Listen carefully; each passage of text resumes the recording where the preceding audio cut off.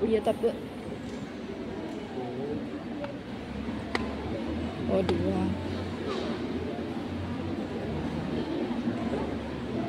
Hah? Mempercayakan diri